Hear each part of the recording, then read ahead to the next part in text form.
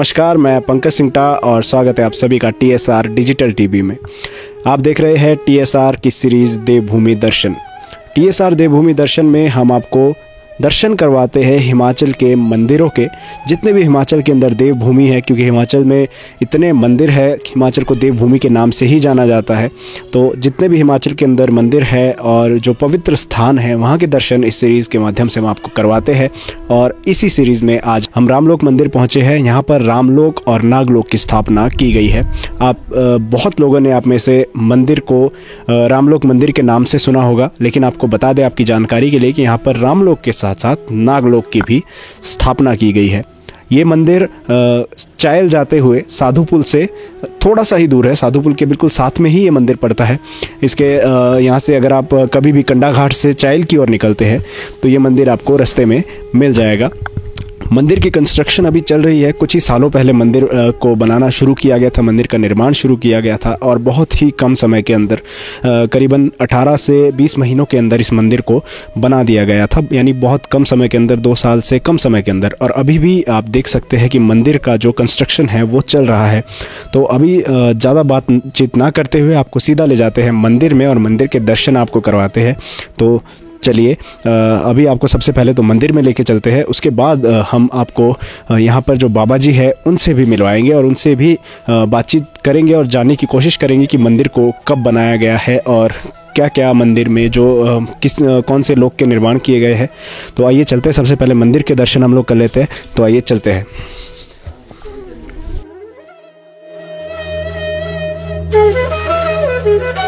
रामलोक मंदिर सोलन के साधुपुल के पास स्थित है। मंदिर का शिलान्यास 15 अप्रैल 2015 को किया गया था। मंदिर में रामलोक के साथ नागलोक का निर्माण भी किया गया है। मंदिर में श्री राम के साथ साथ माँ काली राधा कृष्ण भगवान शिव, माँ पार्वती और सभी देवी देवताओं के दर्शन कर सकते हैं। मंदिर का निर्माण बहुत ही कम समय के अंदर किया गया है। मंदिर को किले के रूप में बनाया गया है। पहले रामलोक और नागलोक की स्थापना किसी और स्थान पर की जानी थी, लेकिन कुछ कारणों की वजह से वहाँ नहीं बन पाया, और ये सौभाग्य हिमाचल को प्राप्त हुआ। वर्तमान समय में मंदिर निर्माणाधीन है। मंदिर को बहुत सुंदर ढंग से बनाया जा रहा है।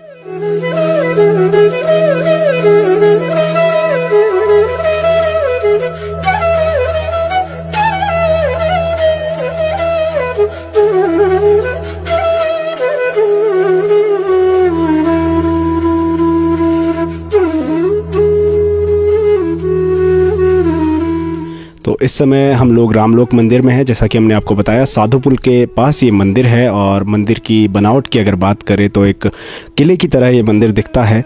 आप जब भी आए तो यहाँ मंदिर में दर्शन करने आ सकते हैं और यहाँ इस समय हम मौजूद है मंदिर में बाबा जी के साथ में और इनसे हम बातचीत करेंगे और जानेंगे कि मंदिर कब, मंदिर का निर्माण कब हुआ, मंदिर को कब बनाया गया और बाबा जी कब से यहाँ पर मंदिर में अपनी सेवा कर रहे हैं मंदिर में। तो आइए बाबा जी से बात करते हैं। बाबा जी, सबसे पहले तो प्रणाम। शुक्र है आपका स्वागत है टीएसआर डिजिटल टीवी में।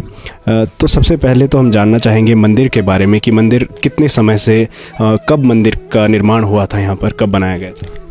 इस मंदिर का शिलान्यास 15 अप्रैल 2015 को हुआ और मंदिर का निर्माण 2016 से शुरू किया गया और 15 अप्रैल 2016 और उसके बाद इस मंदिर का निर्माण हुआ और बहुत ही कम समय में 18 महीने में इस मंदिर का निर्माण पूर्ण हुआ है।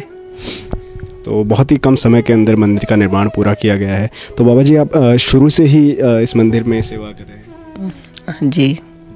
तो जैसा कि आपने अभी जाना बहुत ही कम समय के अंदर 2015 से लेकर ये मंदिर बना है और अब इस समय ये बन के तैयार हो चुका है और लगभग अभी भी देख सकते हैं काम चल रहा है लेकिन मंदिर बना हुआ है अभी भी।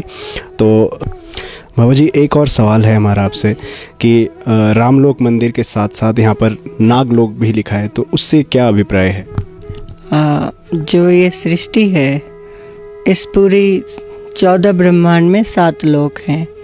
तो सबसे नीचे श्री नागलोक है और सबसे ऊपर श्री रामलोक है। बीच में पाँच लोक स्थापित हैं।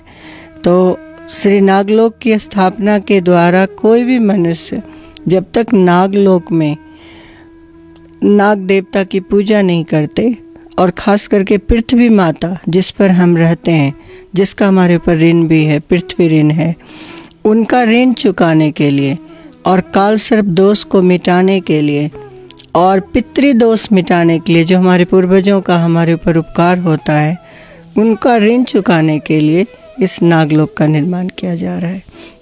इस नागलोक की स्थापना आज से पहले, हिमाचल से पहले त्रावणकोर रियासत, केरल में कर रहे थे, बना रहे थे। लेकिन वो नहीं बना पाए। अब ये जहाँ पर पद्मनाभ स्वामी टेंपल है, वास्तव में वो ये नागलोक बनने जा रहा था। लेकिन वहाँ किसी कारण बस नहीं हो पाया तो वो हिमाचल प्रदेश को गौरव प्राप्त होने जा रहा है। यहाँ पर आकर के, यहाँ पर नाग का जोड़ा चढ़ा करके, हर प्राणी और दूध चढ़ा करके नाग देवता को और नाग माता की पूजा करके, यहाँ पर काल सर्प दोष पितृदोष से मनुष्यों को छुटकारा मिलेगा और मोक्ष प्राप्त करने में उनको सहायता मिलेगी। इसलिए नागलोक की स्थापना की जा रही है। बाबा जी आप दर्शकों को क्या संदेश देना चाहेंगे हमारे T S R digital TV के माध्यम से? हाँ इस मंदिर का निर्माण विश्व में धर्म की स्थापना के लिए किया गया है। विश्व का हर प्राणी इस पूरे विश्व को राम में देखे और सभी प्राणी राम नाम ले इसलिए इस रामलोक का निर्माण किया जा रहा है। इस रामलोक से न सिर्फ़ सूर्यवंश की पताका फहराएगी इस पूरे संसार में, जिस तरह से ये भगवान सूर्य आकाश को दो बार भगवा रंग से रंगता है, उसी तरह ये पूरा संसार राममय होगा और युगों युगों तक राम नाम का संदेश लेकर के श्री राम लोक से संसार का हर प्राणी जाएगा और ये हिमाचल प्रदेश का और हमारे भारतवर्ष का और पूरे विश्व का एक शान होगा और एक धर्म के लिए जो धर्म की मंजिल होती है, हर मनुष्य को धर्म को धारण करना चाहिए। और जब इंसान धर्म को धारण करता है, तभी उसके अंदर राम जी विराजमान होते हैं। और ये वास्तव में इस मंदिर का निर्माण हर प्राणी को सुख और समृद्धि प्रदान करने के लिए और मोक्ष प्रदान करने के लिए चौरासी लाख जीवों को किया गया है। और सभी जो भी इस मंदिर में भगवान श्री राम के चरणों के दर्शन करेंगे, वो मोक्ष के अधिकारी हो जाएँगे। और जब वो राम नाम का नित्य स्मरण करेंगे तो फिर उनको मोक्ष प्राप्त होगा। बाबा जी, बहुत बहुत धन्यवाद आपका हमारे डिजिटल टीवी के माध्यम से सबको संदेश देने के लिए। बहुत बहुत धन्यवाद बाबा जी हमारे डिजिटल टीवी से बात करने के लिए। थैंक